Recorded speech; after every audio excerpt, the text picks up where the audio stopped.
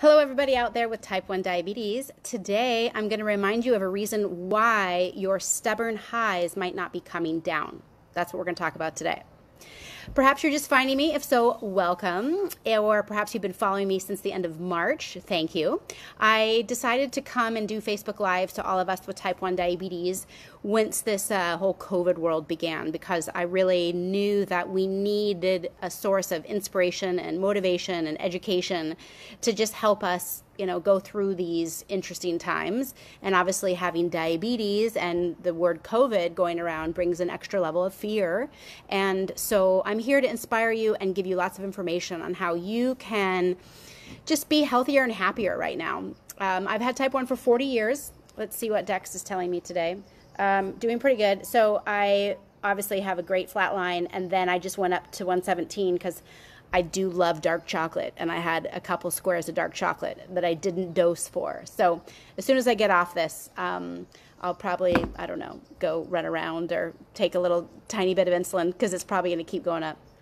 Um, yeah, I walk in your shoes every day. I get it. I have been working virtually with patients for over eight years now. Um, I can help you get off that blood sugar roller coaster and feel confident that you are going to live a long and healthy life. That's what my videos are doing. That's what my online courses provide, my community, and all the, the various offerings that I do for those of us with type 1.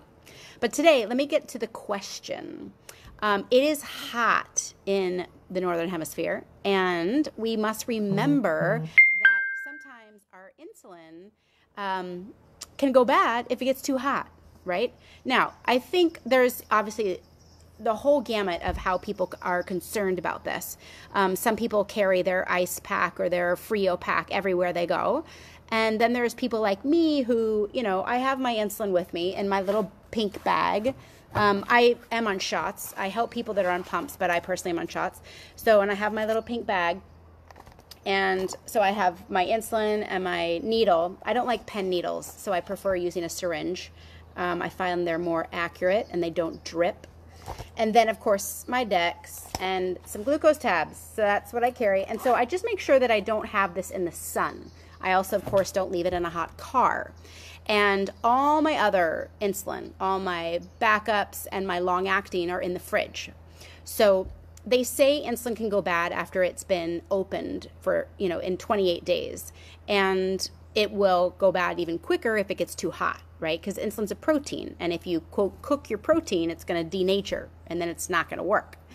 Now, there's a lot of uh, kind of a, a gradation though, right? Because it can obviously on day 28 it doesn't go from full force on 28 and then zero force on day 29 right? So people are always like well how do you know if it gets too hot? How do you know if it's been open too long? How do you know if it's too old? Right? Well basically if you're having lots of highs that aren't coming down and you've tried everything you normally try I always like to perhaps open a new vial and do a shot and just see. I don't throw away the old vial immediately but I will open a new pen and see if I do some insulin from that pen. If suddenly my high comes down, then you're pretty confident that your insulin probably got too hot. So, there, like I said, you don't have to always have it in a Frio pack or always have it in the ice when you're out and about in the heat, but you definitely want to avoid it being in the direct sunlight.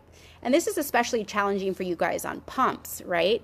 So again, you got to kind of consider, you know, where your pump is, you know, are you out in the sun? Is there a way you can put a little towel over it or, you know, as you're walking, can you clip it on the side of your body that's not in the sun? You kind of have to be creative when it comes to to your pumps. But really, I want you to realize that um, I think the insulin is a lot more uh, resilient than we give it credit for. Um, I certainly have never thrown out a bottle on day 28 or if it was in the sun for 30 minutes. I always, I, you know, we don't like to waste, and insulin is expensive, and you know, there's already so many things, so much waste with diabetes, anyways. All the supplies and the, you know, the inserters and the pump supplies and the needles, right? And it costs a lot of money. Nobody wants to throw out a bunch of insulin. So I always say, um, you know, keep trying it. You don't know for sure until you see its its effects, right? If you keep giving yourself insulin, you're not come down. That's when I'm pretty sure I'm like, this is out. And of course, the longer I've had the bottle open, the more I'm apt to, you know, toss it. So that is my two cents in our warming up world. Um, for those of us in the northern hemisphere, just really remember keep it out of the sun. You don't have to freak out and always have it on ice, but you definitely want it out of the. Don't keep it in a hot car. That's for sure. um, so please leave a comment below. I know me- most of you watch of the watch these after the fact. Um, like I said, this is I've been doing these since the end of March, so this is I believe my 90th Facebook Live, and I uh, I love I love interacting with all of you, and um, I have lots of resources for you on my website. I am just here to help type ones. That's what I'm all about. I've got a lot of great resources. I do feel that most of us haven't received the education that we need to really be able to thrive with type one, which is why I created my telemedicine business and all my online courses. So if you're mm-hmm. struggling, I just want to inspire you to perhaps check out my website. I've got a lot of great resources there, free videos. I have a free handout. Um, you can sign up for my newsletter and stuff like that even though I'm not actively writing my newsletter right now because I'm doing so many other things, like trying to figure out what program I can provide to you um, once I probably, I don't know how much longer I'll do the Facebook Lives, but um, I'm thinking about creating a, a special program that has Facebook Lives and interviews and courses and that, but it'll probably be a few months at least before I get that going. All right, so thanks for watching today's video. Um, let's see what comments. I love the comments. Okay, hi Michelle. Michelle's watching. Um, I use an InPen. The app will alert me when it's been 28 days. Yeah, that's helpful. But again, I personally have never thrown out insulin just because it's 28 days. So you have to figure out what works for you. But I've been shooting myself with insulin for 40 years, and um, you know, so I've got some experience behind me. Chad just started watching you. Loved your videos. Thanks, Chad. Glad you found me. Elise is watching, one of my regulars. Jason, definitely a regular.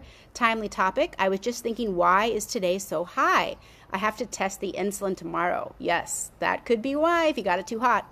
Michelle, maybe set a calendar reminder to help keep help keep track of time you use the insulin. Yeah, definitely. You can write on your calendar what day you opened the insulin. I sometimes uh, will take a picture of you know a new vial and then write the date in the picture, and so I can always easily look at my phone at any time and be like, oh, when did I open this vial, right? Because I also just do you know insulin syringe shots every day so i'm always curious like i don't even know how long it takes me to go through a whole 300 unit pen i don't use that much insulin you know, I do maybe one, two, three, four units per meal, and then some corrections here and there. So, you know, maybe 20 units a day. I don't know. I have a pretty low amount of insulin. But thanks for watching. Um, I love your comments. So I also read any comments for those of you watching the recording tomorrow and I'll, I'll respond. I'm pretty good at responding. So I'm glad you found me. I'm here to inspire those of us with type 1 that we can live a healthy life. I'm here to inspire you to take action because you deserve to have an A1C below 6.5. All right. So drjodynd.com is my website and you have a great day. Bye for now.